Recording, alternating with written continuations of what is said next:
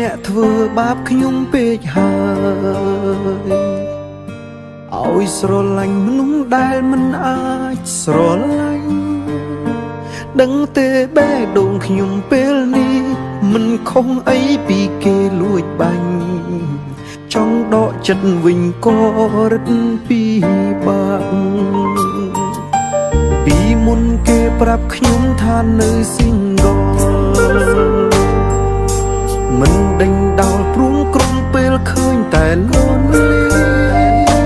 ខំលួចស្រឡាញ់គេម្នាក់ឯងគិតគេក៏មានចិត្តតិចតិច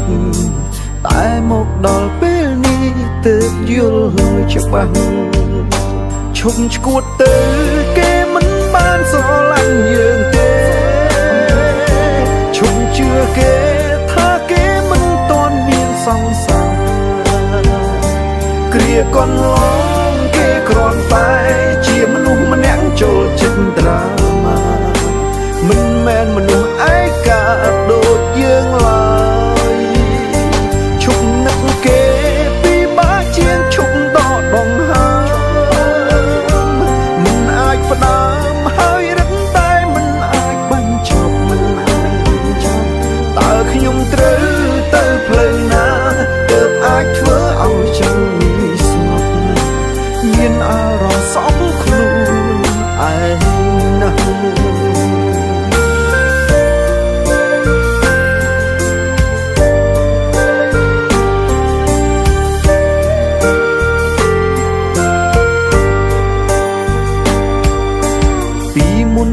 ប្រាប់ខ្ញុំថានៅ single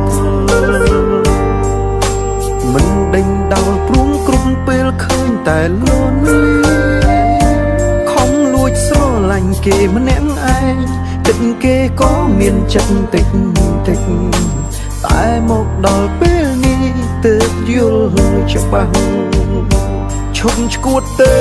គេមិនបានស្រឡាញ់យើង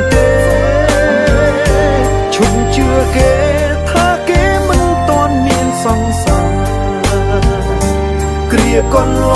ងគេក្រំតែជាមនុស្សម្នាក់ចូលចិត្តត្រា